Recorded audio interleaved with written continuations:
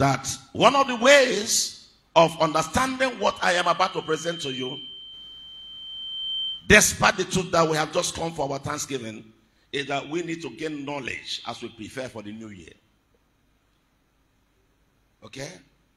And I want you to have this culture and this knowledge into the new year. Are we here? Now, success with honor is a scripture in Proverbs chapter 3.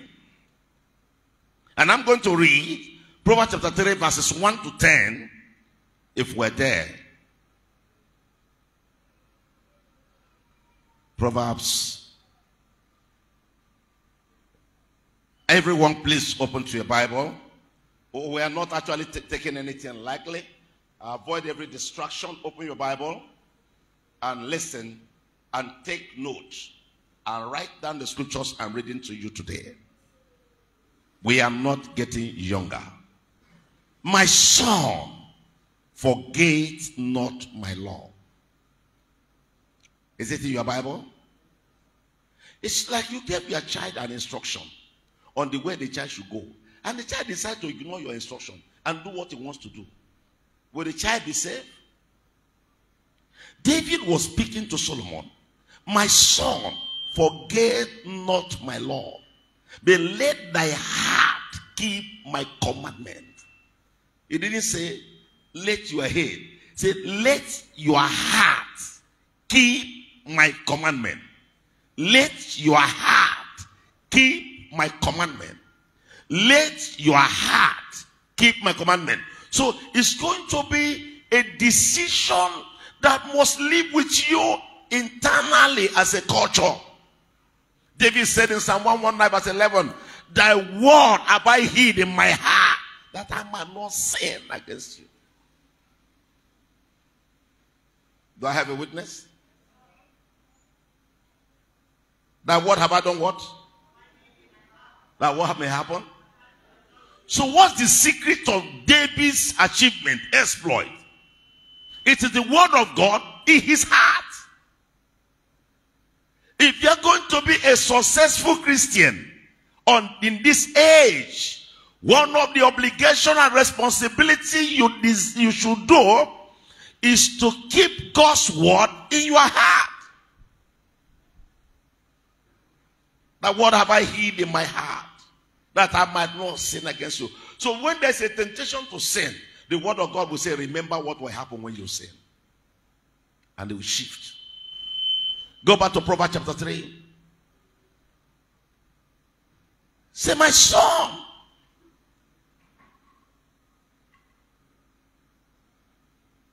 Forget not my law.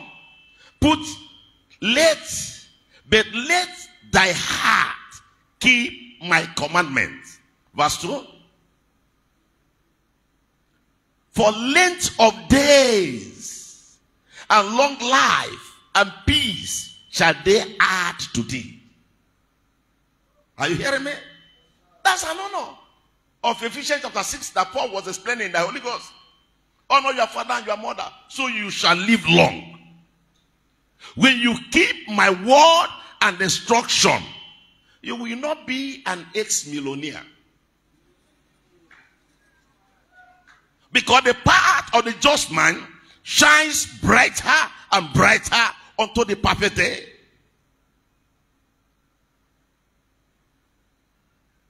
Eh? If it is the word of God and the life of God that is guiding your life, God can never be abstract or be, be passive in your life. Are you here? It's an honor to know that every word of God you obey earns you the blessings of God. So the condition for, for, for, for, for the blessings of God or riding in the, pres- the prosperity of God or the treasure room of God is compliance to what God has asked us to do. And you see, what God asks you to do is, is, is left to your choice. Praise God. The word is for everyone. And that's why No matter what is happening to you in life, there will be a place where you have missed it in your relationship with God. Are you still here? Verse 3. It didn't end in verse 2. Let not mercy and truth forsake thee. That is a command. Let not mercy and truth. Do not allow any situation of life to compare you to take to lies. The challenges of living with lies is that they can only give birth to lies to cover lies. Truth can be very dangerous. Are we here? Truth can be very dangerous. I was checking on something, and uh, one of the things that was revealed that it is better, it is better not to make Patrick Utulu angry. Whatever that will make me angry must be very, very serious. And if it is an enemy that will make me to be angry, that enemy will be in danger. Because I know that there's a place in me that when I react on a thing, heaven will respond. And I know my father and the Lord once warned me. He said, Never use this mouth to curse anything.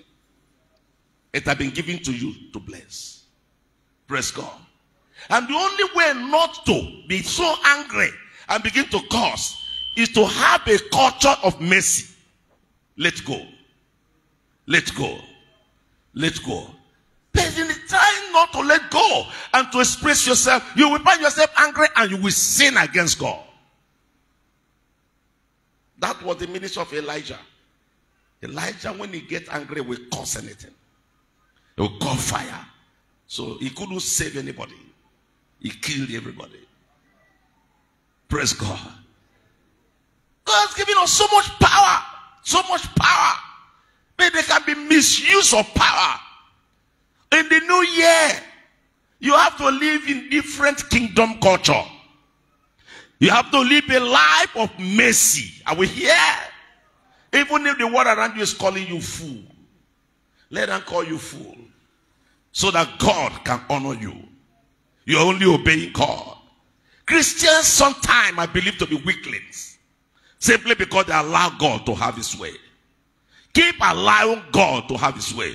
Let the world begin to call you names. It doesn't matter. Are we here? The Bible commanded be angry, but do what? Sin not. So do not keep an anchor for a longer time. It will come because you are human.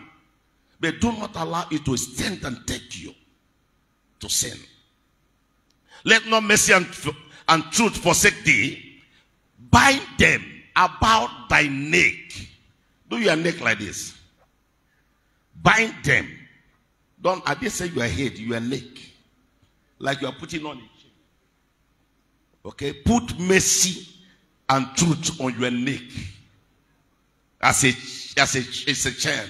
You, you, see how the women dress this morning. I was asking my wife, the way this our mothers dress. Eh? They dress more like millionaires. And I told her, I will see you at Thanksgiving today. Or many of you will pull your clothes today. Praise God. Put on mercy and truth as a supernatural necklace on your neck. He said, bind them about thy neck, write them upon the table of thy heart. That's how important it is. Do not just try to have your way. Don't always feel it must fall as I want it. No. You will miss God. You will miss God. You see, when God judged David, okay, who told Solomon things, what Moses, what David saw was that he became unhappy. David knew that God withdrew from him. The presence of God left. Are we here? And that was why he wrote Psalm 51. He went to God and said to God, Take not thy Holy Spirit away from me. I know I've sinned. You can take the kingdom, you can take everything. But do not take thy Holy Spirit away from me. And he said to God, Let the Spirit, the bond that you have broken, rejoice again. Inner joy disappear. The greatest thing money will never buy for you is joy. Joy. And joy is as a result of living a complete kingdom life. Come on, are we here? You remember that Jesus said, when you come to the Lord to do your sacrifice, and you remember you have something against your neighbor, he said, drop it at the altar and go and make peace. God doesn't see what you bring, God sees the heart behind what you bring in. So anything you are going to give to God that your heart does not rejoice at, does not have the blessings of God. I will see here. Why do you leave? Verse 4. Okay. Verse 4. So shalt thou find favor and good understanding in the sight of God and man. You understand it now? So shall thou find favor in the and good understanding in the sight of God and. Verse 5. Trust in the Lord with all thy heart and lean not unto thy own understanding. Verse 6. In all thy ways, in all thy ways, in all you do, in all your wealth, in all your challenges, in all your, your, your pleasure. What did he say? Acknowledge him. Thanksgiving is one of those times where we come to say, God, it is you. It is you. All that I am is not by my power, neither is it by my mind. It is all of you. We have come to acknowledge you. And the Bible says, and it shall direct thy path. Whatever you have achieved this year will be a child play compared to what God is going to do. Can I say to you, there's, there's some things in life that you must understand. There are some things in life you can never change. I think I was saying it two Wednesdays ago. One of them is expressed in the law of gravity for the scientists. And that law says, whatever goes up, no matter how high, even aeroplane, shall surely come down. If you throw it up, and it went up, and it went up, it must surely come down. And the word of God said, when law increases, grace will multiply. We don't live by what we see, we live by what we believe. Do I have a witness in the house? Listen, let dollar become 2,000 to 1. Let uh, naira become 2,000 to 1 dollar. If God allows it, are we here? And you are in the covenant with God. All I know, if He will not bring it down, grace will multiply. Are you here? Because the path of the just man shines brighter and brighter. Somebody shout brighter. Shout it. Brighter. Brighter. That is the will of God for you. Psalm 16 and verse 11 says, Thou shalt show me the path of life. That's a path of life that God is working, so I walk. Jesus said, My father is working, so I have to walk. God can show you a way and abandon you on that way. You have to build the consciousness that God is with you in every way and in every form that you have been connected. Come on, are we here? Now, go to verse 9 of Proverbs chapter 3, verse 9. Okay, verse 8 says, take it, verse 7. Be not wise in thy own eyes. Be not wise in thy own eye. Verse 7. Fear the Lord and depart from evil. Verse 8. It shall be held to thy navel and marrow to thy bones. Now, verse 9. Honor the Lord with thy substance and with the first fruit of all thy increase. Honor the Lord. David was saying to his son, My son, God have made me so prosperous. And I am dying, but I'm owing no man. You remember somebody gave me a piece of land. And the person said, King, since you need it, take it. He said, No. I will never take anything from you that costs me nothing. You know, some, some unwise men of God lead their congregation to the altar of thanksgiving and act like the Melchizedek. And they act like Melchizedek. No. If I'm your leader, I will lead. And leading does not mean that I will come the highest. Praise God. I will lead to show example that I believe in what I'm showing you. That is leadership. You don't lead by saying, do it. You lead by example. David doesn't want Solomon to be so knowledgeable and to be so poor. I was asking my wife and Elizabeth, I hope our mothers are being taught the principles of prosperity in your Thursday meetings and not just prayers. And they said yes. I'm sure the youth are being taught the principles of honor in their meetings. I'm sure the men are being taught the principles of honor in their fellowships. The men's fellowship is one of the most enticing fellowship because anytime you go there, you must eat well. Praise God. But my expectation is that there must also be a balanced fellowship. David said to Solomon, Honor the Lord with thy substance. I'm your father, I am dying. One of the things that made me one of the richest king in Israel is that I place God first. In all my decisions, when I have a judgment, I place God first. When I have money, I place God first and the law.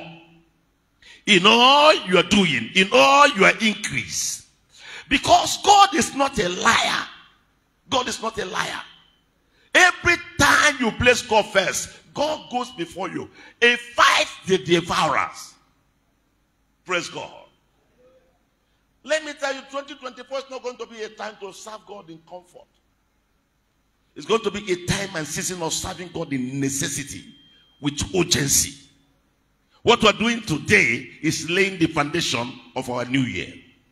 Believing God that we will not just exist, we will be actively alive to come to God by this time next year. Are you here? So take it very, very serious. Don't take it lightly. I said, and with all the first fruit of thy increase. And that is why we got our thing, you know, honor with substance.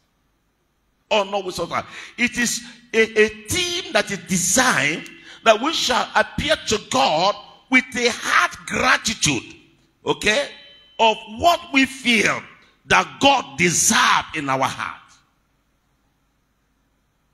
Are we here? Apart from the value of what you are going to use for your thanksgiving, it is also resetting your mind. Are we here? That you don't appear to God to give you a feast of ingathering grudgingly. God, you know how it be me this year. You know how things be this year. No, it's not an explanation. It's either a function that you were not too conscious to know that this time will come. Praise God. And that you need to plan for it. And last year I told you, plan for your feast of ingathering in advance. I will say here. What is verse 10 saying? Verse 10. When verse 9 is done, it says, So shall thy balm. What is balms? Storehouse, bank account, warehouses. Are we here? Where you store your yam, where you store your cocoa. He said, So shall your barns be filled with plenty. Are we here? Nine is a commandment. Ten is a blessing. Ignore nine and start claiming ten. You are a joker. You can't have it. It's a response to your compliance. And thy praises. What is praises? Praises, you know, palm tree. You cut it down. All right? For those that used to drink palm wine,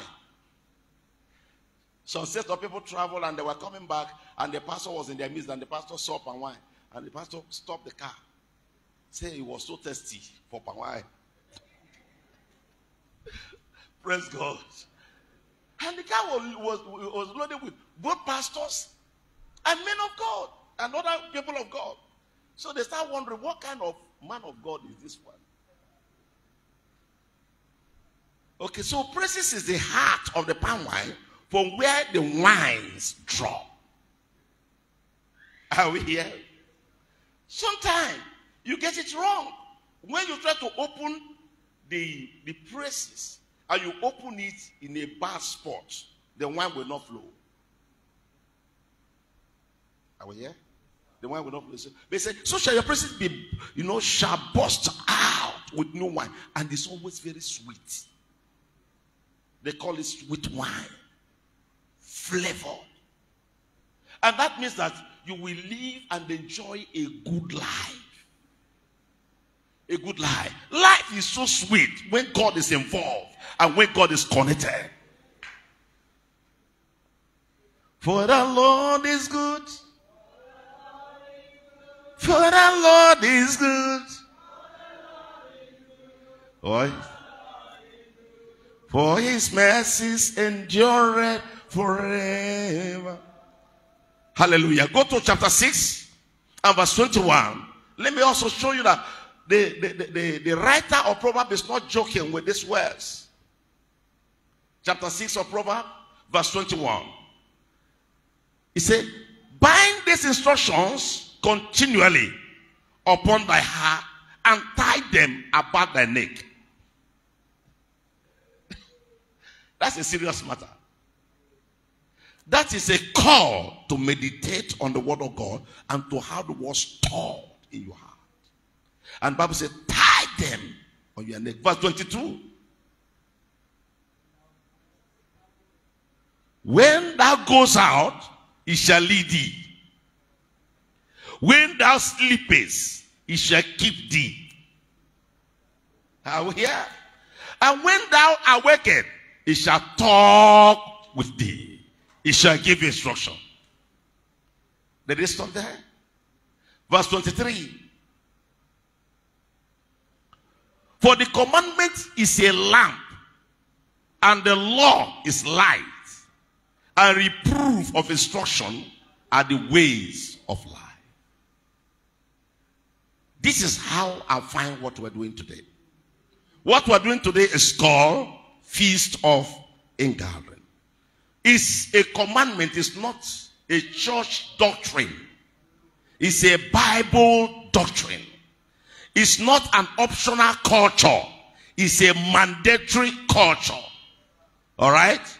It's something you have to do to stand and be in agreement with the hand of God on your life.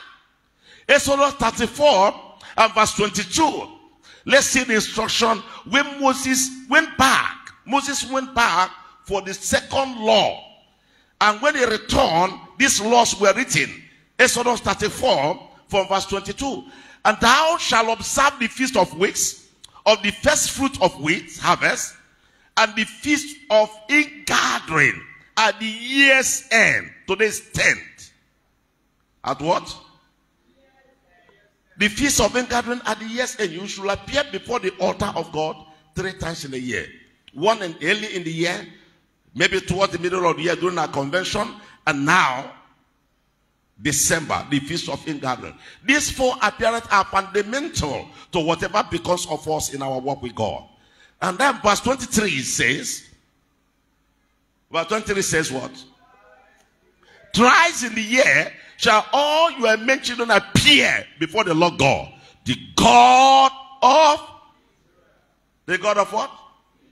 Is it a commandment? It's a commandment. So if you don't appear, I will hear the devil will appear. Your appearance to the altar of God put altars against you on check. This man has appeared. This woman has appeared before me this year in obedience. Therefore, I have put a no go mandate on their life. Look at verse 34, 24. Verse 24, look at the blessings that follows it. The blessings are three blessings. Number one, I will cast out the nations. This nation talks about witches, devourers, powers, enemies. Somebody just called me this morning from the village and said, he doesn't know the people that came when he traveled and they entered his house and they raped the daughter and butchered the daughter and killed the daughter. All right? And that was a promising girl. Sometimes you don't know what is keeping you. But there's some things that God will never ignore when they have to do with your life. Praise God. There are nations everywhere. These 419 guys are going extra mile. They, they, they, they, they, are, they attack my nephew in Maryland, US, from Nigeria here. And the guy had to close his three account. They duped him, they duped him up to $22,000. And some of those accounts are on credit. The father was angry. And I told the father, no. Once you start talking with those boys, they are so occultic that except you are prayerful, you cannot escape. Are we here?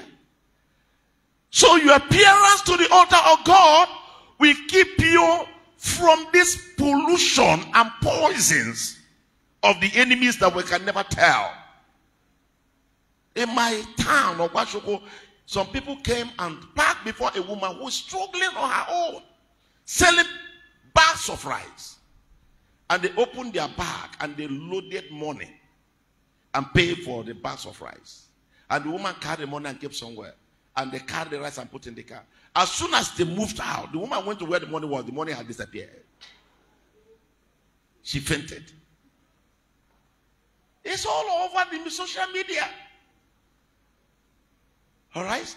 You see, the appearance you don't want to appear will force the devil to appear. When you appear, the Lord will keep you from the devil, from their devourers. What mistake all wealth and dreams will be shattered. Allow God to take charge. Number two, what happened? And enlarge thy border. It means that I was telling you that this particular statement is so loaded. If you have 10 customers this year, God is saying, I will give you 20 next year. You are the one to place a demand on it. God has said it. Write down the scripture. Place a demand on the scripture. Don't, don't, don't follow God with a made up mind. No. Don't make up your mind. Don't make up your mind. Allow the Spirit to lead you by the word of God. The blessing say, by your appearance, I will enforce enlargement on every side. By this time next year, many of you will be 10 times what you are today. If your amen can be louder, your blessing shall be faster. Are you still here? And the third one says, Neither shall any man desire thy land. Now, the question here is land. You, how many of you have heard about Kenny Copeland? Kenny Copeland is one of the richest pastors in the world. He has an airfield, a private airfield. You know what is the highest cost in aviation business? Is landing and taking off and packing. Are we here? So it's not a problem to buy an aircraft. To pay the pilot is expensive. To park the aircraft per day in an airfield is money. Praise God. To land and take off is money. Those are the things that determine your air ticket. Praise God. The more expensive it is. Atlanta is the highest, is the most expensive airport in America. Because that airport is like, I don't know how what they had in their mind. So once you are landing in Atlanta, your ticket must speak Atlanta. Atlanta. Praise God. And to take off from there to any other part of America is expensive. Where some airport can take $100, that one will be 400 300 I, I don't like passing through there anymore. Praise God. I studied it. God is talking about land. It's not just about having a land to build a house. Land is a title deed. What's land? It's a title deed. It has a content. Are we here? More than just what you put on it. If you are lucky, Kenny Copeland sold his bicycle as a vendor who was selling robot books. And they were launching the university. And he said, I have been earning my living from this church. And now they are doing this thing. I don't have money. He offered his bicycle for sale. Is that not foolishness? Some months later, they called him that he has won a lottery. And when they, when they gave him the lottery, he had won a parcel of land. And when they gave him the survey plan of the land, the land was a gold field. So the government took over the land and placed him on royalty for life. That is the secret of his wealth. I am praying that I may be lucky one day like that. There's an art of obedience. An art of obedience. Read and you will understand. He said, and make sure that nobody do what? Desire thy land. One of the most contentious issues on earth is fighting for land. Fighting for land. You see some demonic brothers and uncles. If you are not lucky, your father has died early and they know your father has a good land, they will manipulate your mind, make you lose your mind, take all the land, or, or even kill you to have the land. The demand for land is so, is so rich, and only God can fight for land. If you go to fight for land without God, be ready to die. Praise God. Land has a lot of content.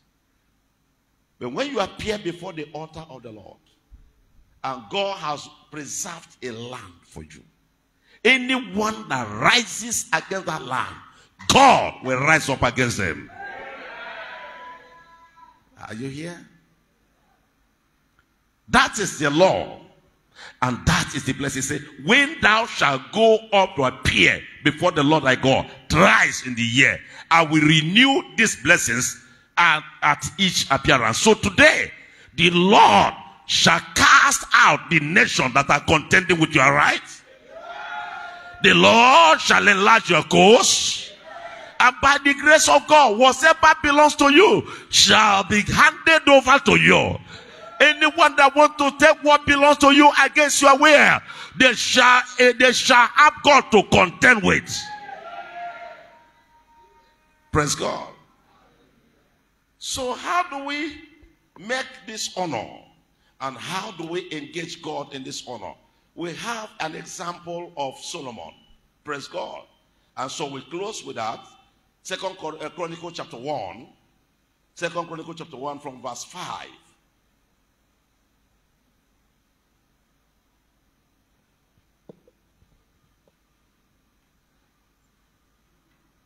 Moreover, the brazen altar that Bezalel, the son of Uri, the son of Hur, had made, he put before the tabernacle of the Lord, an altar inside the tabernacle.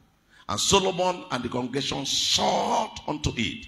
They decided to seek the altar of the Lord. I want to explain this.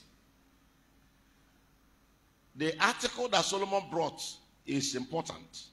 But what is important is that why did they come to the house of God? How did they approach the house of God? And why did the altar become so relevant before what Solomon came to the altar to do? You know, become very relevant. It was his first outing after God has made him a king. In the new year, can I say this to you? It doesn't matter what I've attacked your voice and make you a nobody. You will be a voice that no demon can stand. My God will make you a voice to your generation. The choice of Solomon was a confusion. He was the only one, physically and conventionally, not too legitimate to take over from his father. But he was the only one that had the right heart to be the king of Israel. And so when he became the king, he decided to do the first ten, and that is appear before the, the, the tabernacle, which is a cathedral like this, okay? You can come to this place without coming here. You can come to my office and go from there without coming here. You can visit any of your friends without coming here. You can be in this pew without coming here. Praise God. There's always a mystery when you are stirred up in your heart to touch this altar. Are we here? It's the dwelling seat of the presence of God. What did Solomon come to do? Solomon come to do what they call burnt offering. Are we here? You know what they call burnt offering? It's a sacrifice that is not done in pity for the priest. You know, before now, the culture for Thanksgiving at Bulado, you come with anything you like. If you look around now, I've not seen rice, I've not seen yam, I've not seen plantain. The culture has changed. That is why you are thick, strong, and big. Praise God. The center of the feast of ingathering is not the priest. If you do it with priests in your heart, you will not have the right blessing. You will have the blessing, but you will not have the right blessing. It is the altar as your target. The altar as your target. In Exodus 34, when they bring those wheat in those times, they will burn it. When they gather the wheat, they will burn it. It is the ashes of the wheat that the priests will use for their services. That empowers the altar, activate the presence of God to keep the Israelites for the next one year. Are you here? Now, when you also talk about the 1,000 cow that Solomon brought, Think about the cost of bringing 1,000 cow. How many trailers will take them? How many people will handle them? And the Bible says he came with them for a burnt offering. So how many butchers? How many people will kill them? Who bear the cost of the transportation, the handling, the killing, the burning? And the Bible says he burnt them at the altar of the Lord for a burnt offering. The result was that Solomon reigned for 40 years without a single war one day. That is the power of what can happen. One, 40 years, no war. 40 years, no war. He gave but the father reigned for 40 years, and every year the father fought war. What was the difference? The difference was that the sacrifice he placed at the altar fought every altar within the territory of Israel. I want you to do today what will fight every altar on your behalf through this altar in every place where God will be taking you to. I believe God, you are returning next year better than you came this year. You are many suspects. That is one thing God gave him peace on the throne for 40 years. The next one year will be year absence of war. The Lord shall rise and terminate whatever that causes war around you.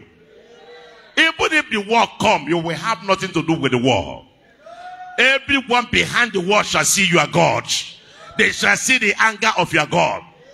What is the second blessing?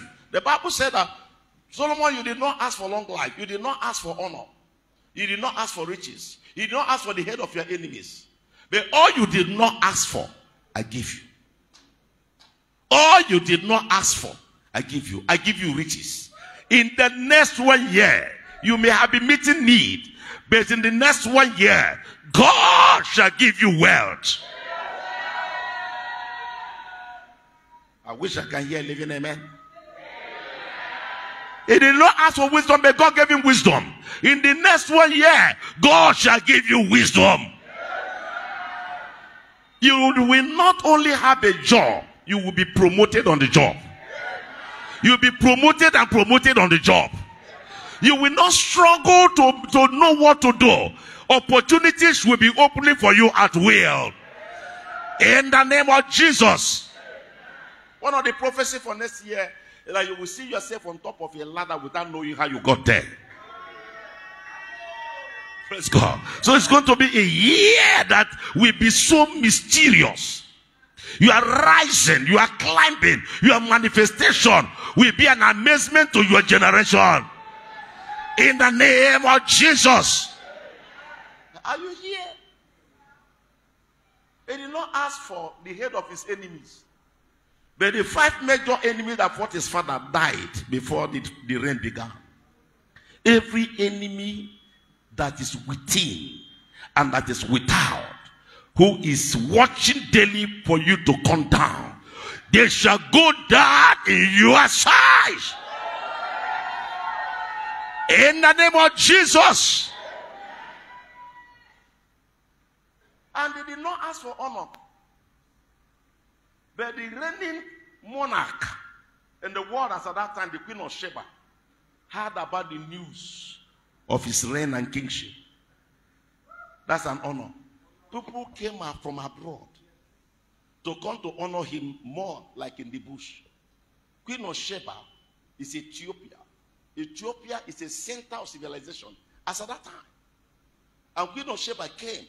And when he saw Solomon, he said, What I heard about you is compared to nothing to what you are that I can see. And he said, Your people are so happy. Your kingdom is so organized. You are so wealthy. You know that the Queen of Sheba did not return. Eh, forget the other stories. And here, he closed his monarch and submitted. He submitted to the monarch of Solomon. And Solomon was a king that liked women so much. So he expanded. Listen, businesses will be closing not to submit to your business. Opportunities shall be hitting you on every side. It's going to be your year of possibilities. Why many saying it's impossible, you will be saying this is possible. This is possible. This is possible. This is possible. This is possible. Can I hear someone say it is possible?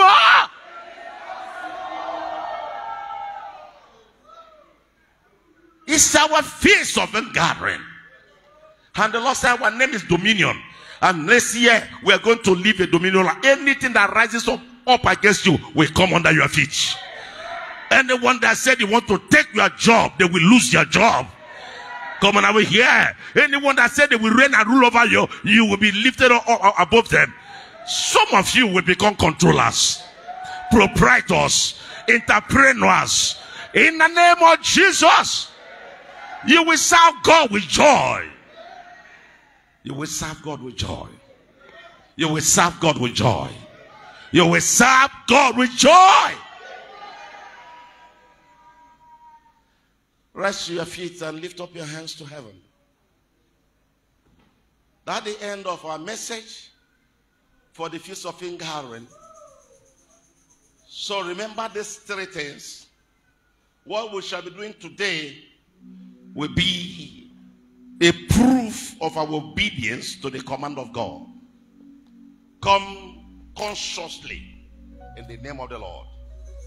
It shall be an expression of our respect for the place of God in our heart. And again, it shall be a symbol of honor. Solomon did not ask for honor, but God gave him honor. Everything around him honored him. We'll be praying for you as you come. That God will honor you beyond your imagination. If you ask me, I will tell you we can close this meeting as quickly as possible. If you ask me, praise God. The prompting in my heart is to call families who say they have special thanksgiving. Praise God. You know we are maturing. We are maturing because our next year is year of growth. We'll give you opportunity to express yourself. But we can close this meeting as quickly as possible. Because I don't want a situation where one family will take 15 minutes, 10 minutes, 20 minutes, and we stay here. At the end of the day, you start counting it against me. That I close you late. Sometime when we do Thanksgiving, the family will come and speak. Sometimes 20 minutes. When you shake the envelope, it does not worth our 20 minutes. Praise God. So, what we're going to do is to be very sincere to ourselves. We have to be very sincere to ourselves. We need to know what to do. Now, listen, this is what we're going to do. This church have two major needs. Two major needs, but we're going to face one. That one is, I told you last Sunday that the cost of diesel, the cost of diesel is alarming. Very alarming. And if it continues like this, we might not be able to retain our workforce. Praise God. So the only option is let us put solar here. Do I have an agreement? Whether you agree or not, that's what is in our heart. Let's put solar in this house.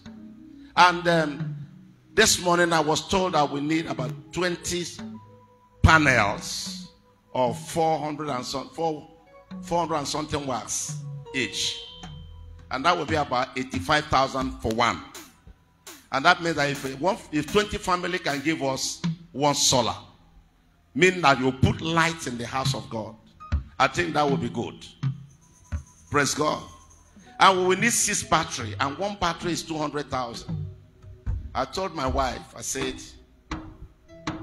if we are going to if we are the pastors and it's so demanding, let us believe God to give one battery. So I and my family we give one battery. But I've told my children that they have to give panels. And I'm not joking. I've told Samuel he had to give us one panel. I've told if he where's if he now with his uh, white? He will give us one panel. Where's happiness? Happiness will give us one panel. They are working. They have to know how to hold God. We have agreed in prayers, it has to be done.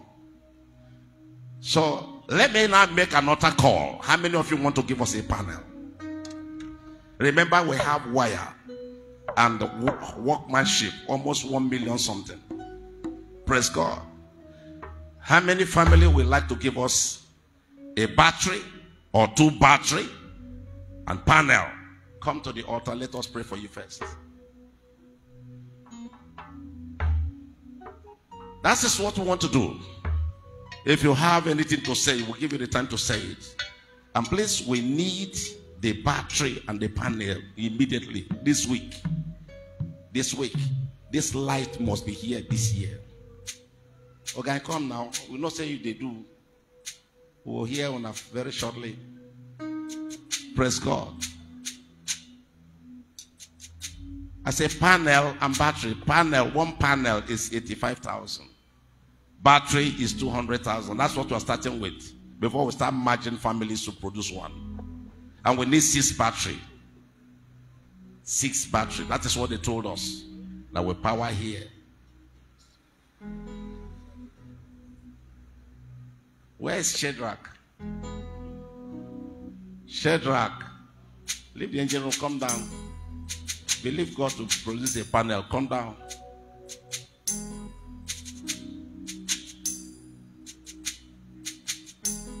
We're waiting.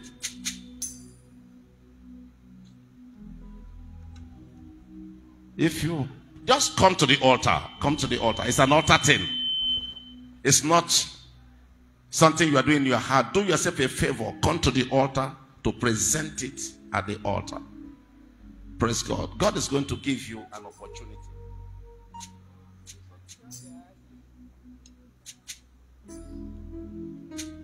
It's, it's part of your thanksgiving. Praise God.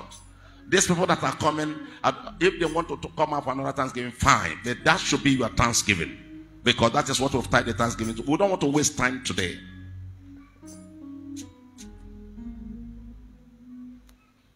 Where the guys have called out.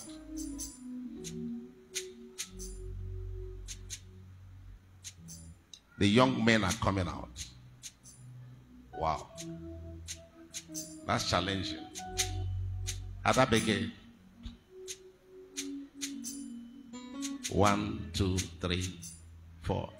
Hey, see our daughter. So good to have you today. Let's celebrate Oluebube. Those are the pioneering members of our choir. I know you must have fly down all the way from Abuja to be here. Praise God.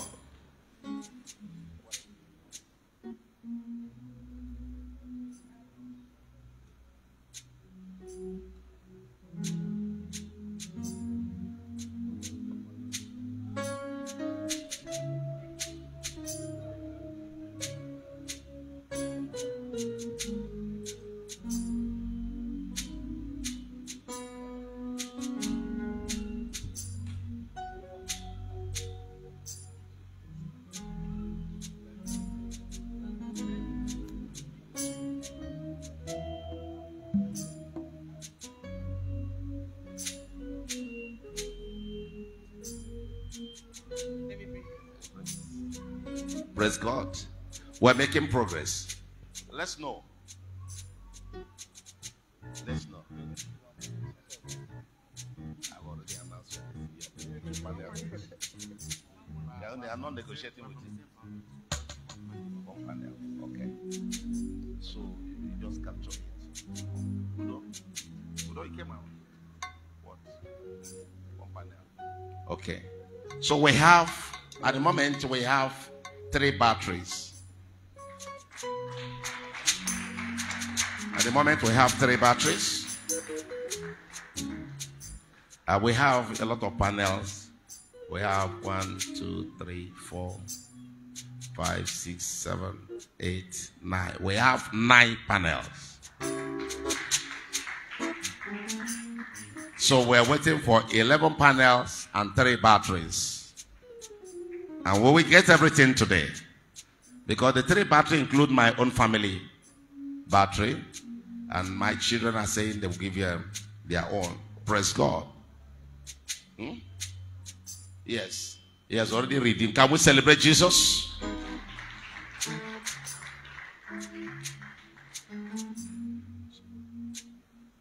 Let us pray. I'd like you to before this altar of God, ask God what you want. Solomon was at that altar. This article you are committing before God, this article you are committing before God will speak on your behalf. But now I demand of you, because God asked Solomon, he said to Solomon, ask what you want. And Solomon said, I need understanding heart to govern the people. And God gave him what he did not ask.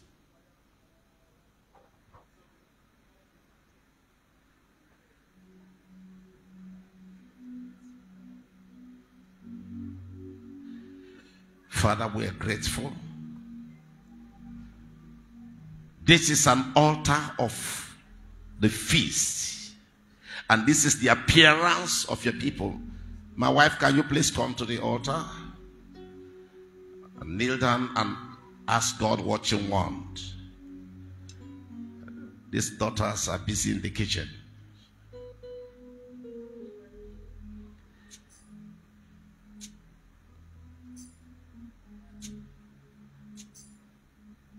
At the sound of my voice, as the head pastor of this cathedral,